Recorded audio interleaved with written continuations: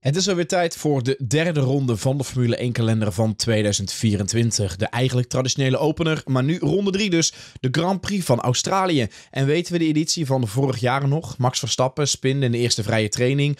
Perez die crashte tijdens de kwalificatie. Russell, ja, zijn motor die plofte tijdens de race. We hadden een record van drie rode vlaggen tijdens de Grand Prix. Dat was nog nooit eerder gebeurd in de geschiedenis van de Formule 1.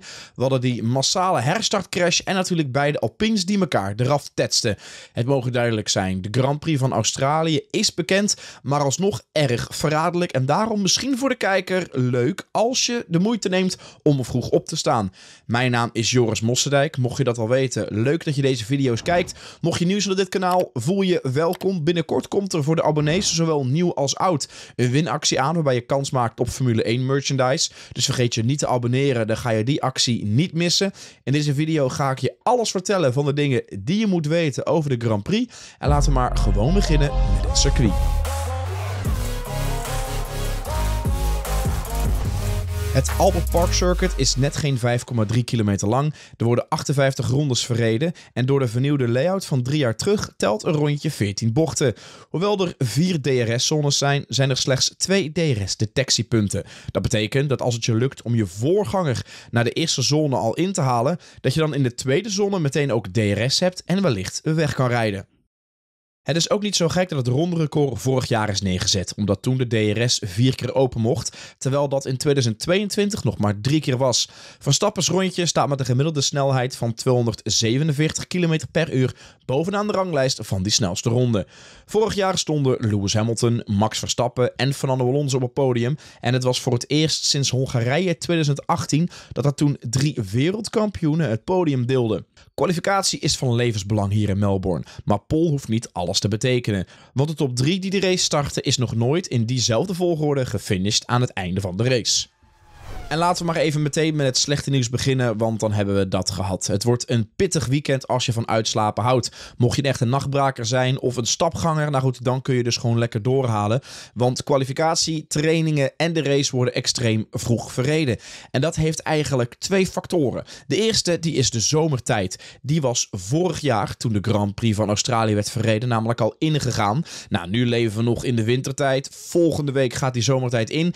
Dat verklaart al één uur tijd Dat andere uurtijdsverschil komt eigenlijk door de coureurs zelf. Want vorig jaar klaagden ze omdat die race zo lang duurde. Na die verschillende rode vlaggen kregen de coureurs aan het einde van de race last van de ondergaande zon. Wat zorgde voor beperkt zicht. Daarom heeft de organisatie besloten de race een uur eerder op de dag te zetten. En de combinatie met dat feit en de wintertijd zorgt ervoor dat de race om 5 uur begint. En dit is hoe het hele schema eruit ziet. De eerste vrije training is vrijdagnacht tussen half drie en half vier Nederlandse tijd. Gevolgd door de tweede vrije training tijdens het ontbijt tussen zes en zeven. Dan zien we eigenlijk exact dezelfde tijden op de zaterdag. Met de derde vrije training tussen half drie en half vier. Gevolgd door de kwalificatie tussen zes en zeven. En de race, ja, die start om vijf uur ochtends. Nou, wordt het dan een race om in het water te vallen? Nou ja, waarschijnlijk niet, want vrijdag, zaterdag en zondag is er bijna geen veldje aan de lucht. Hooguit een klein beetje bewolking, neerslag wordt er niet verwacht en het wordt een graad of 20. En niet voor het eerst dit seizoen kan Max Verstappen met Red Bull Racing meerdere records verbreken. En het zijn niet de minste. Laten we in eerste instantie de belangrijkste erbij pakken. Mocht Max Verstappen de Grand Prix van Australië winnen, dan betekent dat alweer zijn tiende zege op rij. En dat is een evenaring van zijn eigen record wat hij nog vorig jaar heeft neergezet. Daarnaast lukte het Red Bull Racing nog nooit om drie races op rij een 1-2 te scoren. En überhaupt lukte een 1-2 nog nooit in Australië. En mocht Max Verstappen de race winnen in Australië met of zonder snelste raceronde, heeft hij ook het record in handen voor meeste punten na drie Grand Prix. En een record wat nu nog in handen is van Nico Rosberg. Max Verstappen heeft er zin in. Hij vindt de RB20 een goede, solide auto, maar hij past wel op voor mogelijke valkuilen in Australië. Het is nu een erg snel circuit dat een goede mix vereist van snelheid op de rechte stukken en grip in de bochten.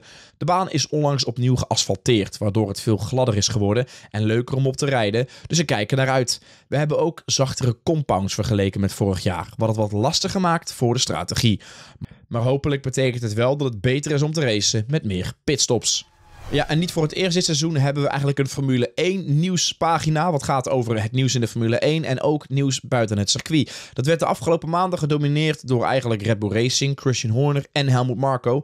Maar ook deze week is er weer nieuws eigenlijk buiten de baan. Heeft dit keer niks met Red Bull te maken, maar met Susie Wolf. Daar kom ik zo op. En de FIA-president Mohammed Ben Sulayem.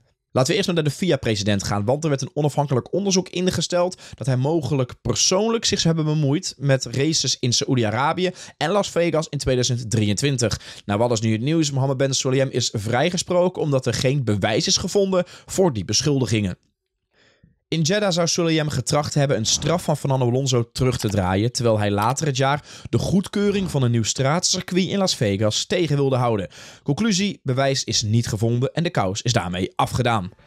Ja, het volgende nieuwtje ging over Susie Wolf, de vrouw van Mercedes-teambaas Toto Wolf. Want ook zij kwam eind 2023 negatief in het nieuws voor mogelijke belangenverstrengeling.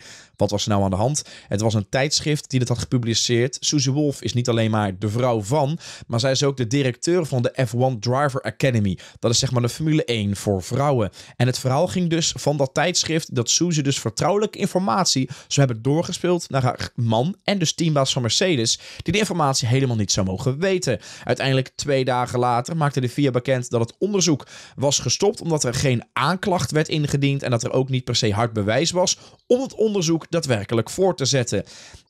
En nu, drie maanden later, kondigt Suze dus aan dat ze een klacht heeft ingediend tegen de FIA vanwege de valse beschuldigingen. De vraag is of dit ook maar twee dagen aanhoudt, maar in ieder geval mag de FIA zich waarschijnlijk binnenkort gaan verantwoorden voor de rechter. En de grote verrassing van de Grand Prix van Saudi-Arabië was natuurlijk Oliver Beerman. De jonge kerel die moest last minute Carlos Sainz vervangen, die last had van een blinde darmontsteking en daaraan geopereerd werd. Uiteindelijk zette hij de Ferrari op P7 neer, wat een knappe prestatie is voor een rookie. En de vraag is ook, is dit zijn laatste race in de Formule 1? Nou, dat is in ieder geval een groot vraagstuk waar ook Carlos Sainz mee gemoeid is, want is hij op tijd hersteld? Hij was in ieder geval donderdag weer aanwezig op een circuit in Melbourne met een grote smile op zijn gezicht in ieder geval de herstelperiode viel hem zwaar, maar hij heeft alle vertrouwen in komend raceweekend. Een beetje slecht nieuws dus voor Beerman.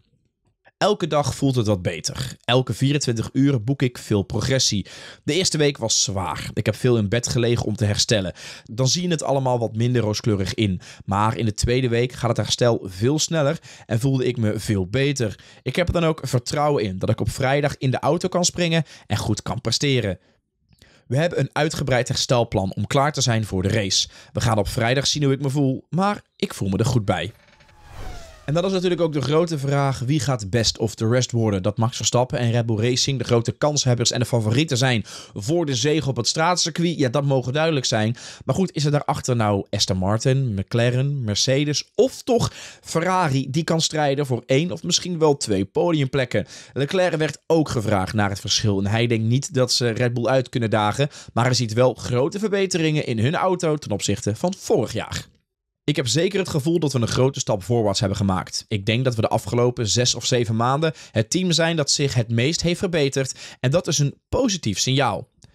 Wij zitten in een betere situatie vergeleken met vorig jaar, dat is zeker. Maar we hebben nog steeds een gat van misschien 14e per ronde in de race. En dat is nog steeds te groot. Ik ben optimistischer. Niet als ik kijk naar het gat, maar meer als ik kijk naar de algehele situatie van ons team. De manieren waarop we werken en ook de manier waarop we heel duidelijke ideeën hebben en wat we moeten verbeteren om stappen voorwaarts te maken. Dat geeft me het vertrouwen dat we Red Bull op een gegeven moment tijdens het seizoen op sommige circuits meer onder druk zullen zetten.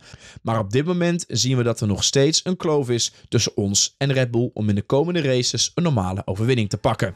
En tot zover, zo ben jij weer helemaal op de hoogte van alle dingen die je moet weten van de Grand Prix van Australië. Ik ben natuurlijk ook benieuwd naar jouw voorspelkunsten. Laat even weten wat de top 3 wordt van de Grand Prix. En ik ben benieuwd, ga jij je wekker zetten voor de race en misschien ook wel voor de vrije trainingen? Nou, laat dat even weten. Wij lezen alles en proberen op zoveel mogelijk te reageren.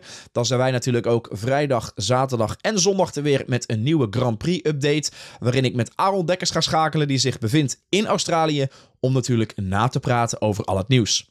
Zie ik je dan?